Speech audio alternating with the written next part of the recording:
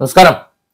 കഴിഞ്ഞ രണ്ട് ദിവസങ്ങളിലായി പുറത്തു വന്നത് A D M Naveen Babu കൈക്കൂലി വാങ്ങിയിട്ടില്ല എന്ന് തെളിയിക്കുന്ന ഒരു സംരംഭകന്റെയും അതുപോലെ കൈക്കൂലി കൊടുത്തു എന്ന് ആരോപിക്കുന്ന ആളുടെയും ഫോൺ സംഭാഷണമായിരുന്നു. എന്നാൽ ഇപ്പോ പുറത്തു വരുന്നത് നവീൻ ബാബു അതായത് ഈ എ ഡി എം ആത്മഹത്യ ചെയ്ത എ ഡി എമ്മും ആ സംരംഭകനും തമ്മിലുള്ള ഫോൺ സംഭാഷണമാണ്.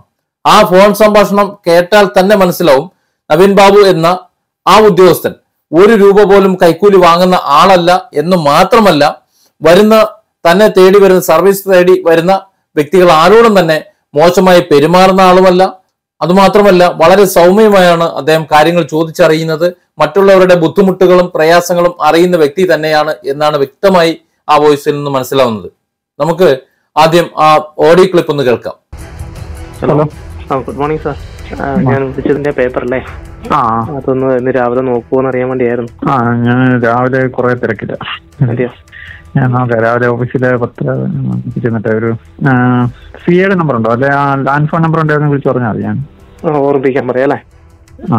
ഞാൻ വന്നപ്പോ ഒന്ന് ഉച്ചയ്ക്ക് ശേഷം ഇങ്ങോട്ടേക്ക് വരാം ഞങ്ങൾ കുറച്ച് ദൂരം ഉണ്ട് നൂറ്റി അപ്പൊ എന്റെ അവിടെ നൂറ്റി കിലോമീറ്റർ ഉണ്ട് എന്നാലും ഞങ്ങൾ വരാം. നിങ്ങളുടെ എല്ലാ ജോലികളൊന്നും വരുവാണല്ലോ ഇതൊന്നും നടക്കണ്ടേ അതിന് വേണ്ടിയിട്ടാണ്. എന്തായാലും ഞാൻ സിയാനെ വിളിച്ചപ്പോ ഒന്ന് ഒന്ന് പറയാം. ഓർമ്മിപ്പിക്കാം ആ ആ. നോക്കൂ ഇതിൽ വളരെ വ്യക്തമായി പറയുന്നുണ്ട്. ദിവസവും നൂറ്റി ഇരുപത് കിലോമീറ്ററോളം സഞ്ചരിക്കണം അപ്പ് ആൻഡ് ഡൗൺ സഞ്ചരിക്കണം അതിനു വേണ്ടിയിട്ടാണ് വരുന്നത് എന്ന് പറയുമ്പോൾ നവീൻ ബാബു പറയുന്നുണ്ട്.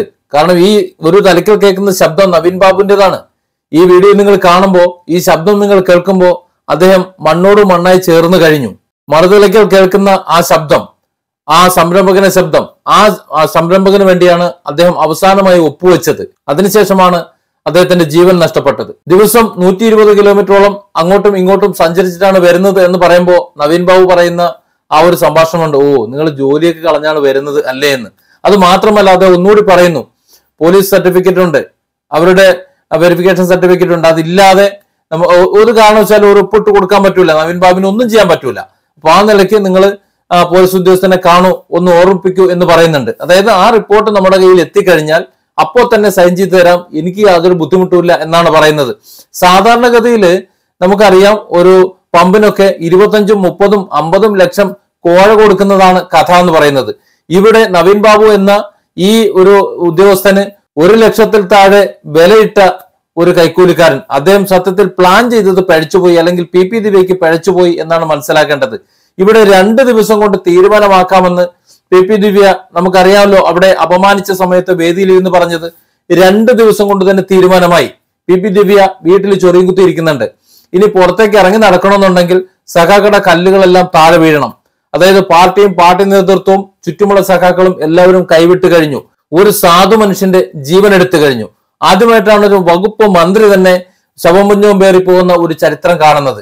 ഇദ്ദേഹത്തിന്റെ മേലുദ്യോഗസ്ഥനായിട്ടുള്ള കളക്ടർ കൃത്യമായി റിപ്പോർട്ട് കൊടുത്തു കഴിഞ്ഞു. ഇദ്ദേഹം കറം കളഞ്ഞ നല്ല ഉദ്യോഗസ്ഥനാണ് ഈ പേപ്പർ കൊടുക്കുന്നതിൽ അല്ലെങ്കിൽ സൈൻ ചെയ്ത് കൊടുക്കുന്നതിൽ യാതൊരുവിധ ക്രമക്കേടോ അല്ലെങ്കിൽ വീഴ്ചയോ സംഭവിച്ചിട്ടില്ല എന്ന്. അത് മാത്രമല്ല മറ്റു പല ജില്ലാ മേധാവികളും ഒക്കെ പൊട്ടിക്കരയുകയാണ്.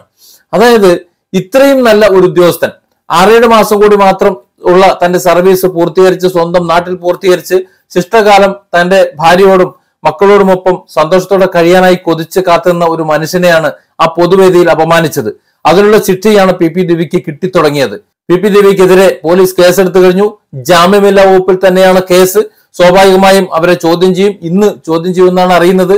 ഹൈക്കോടതിയിൽ മുൻകൂർ ജാമ്യത്തിന് പോയിട്ടുണ്ടെന്നും അറിയുന്നുണ്ട്.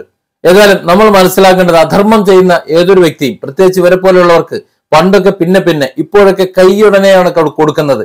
രണ്ട് ദിവസത്തിനുള്ളിൽ നിനക്ക് ഞാൻ കാണിച്ചു തരാം എന്ന അഹങ്കാരത്തോടെ ആ വേദിയിൽ കയറി നിന്ന് അവിടെ ഇരുന്ന് പറഞ്ഞുകൊണ്ട് അതും വിളിക്കാത്ത വേദിയിൽ വലിഞ്ഞു കയറി വന്ന് ഒരു ഒരു സാധു മനുഷ്യനെ അപമാനിച്ചതിൽ നിന്നുള്ള ആ ശിക്ഷയുമാണ് കിട്ടിത്തുടങ്ങിയിട്ടുള്ളത്. പക്ഷെ അദ്ദേഹത്തിന്റെ ആത്മാവ് ഇവരെല്ലാം അവർ ചെയ്ത കുറ്റത്തിന് ശിക്ഷ അനുഭവിക്കുന്നത് കണ്ടുകൊണ്ടല്ലാതെ ഇവിടെ നിന്ന് മടങ്ങിപ്പോകുകയില്ല എന്നുള്ളത് തീർച്ചയാണ്. അതാണ് ഇന്ന് കഴിഞ്ഞ രണ്ടു ദിവസമായി കണ്ടുവരുന്നത്.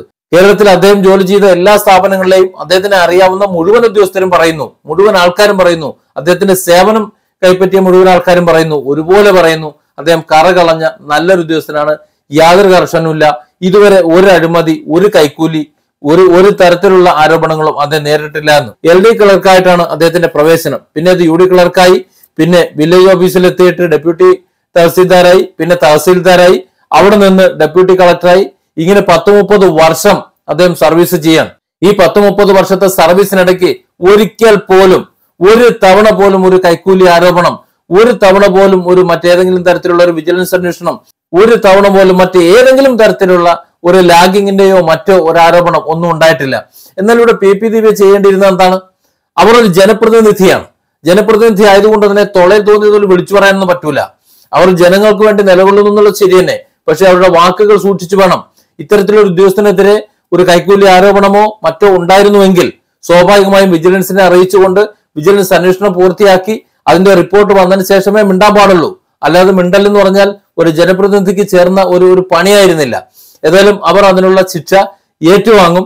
ഇവിടെ സർക്കാർ ഈ ഒരു കാര്യത്തിൽ ഇടതുപക്ഷ സർക്കാരും അതുപോലെ തന്നെ ഇടതുപക്ഷത്തെ മറ്റുള്ളവരുമെല്ലാം തൽക്കാലം അതിനെ നാടകമാണോ അല്ലയോ എന്ന് എനിക്കറിയില്ല.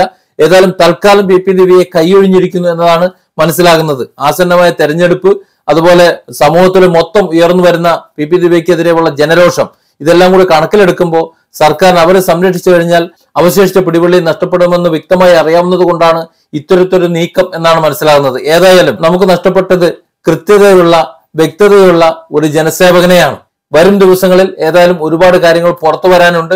ഏതായാലും ചെയ്ത തെറ്റിനുള്ള ശിക്ഷ അനുഭവിച്ചു തുടങ്ങുന്നു എന്ന് തന്നെ മനസ്സിലാക്കാം.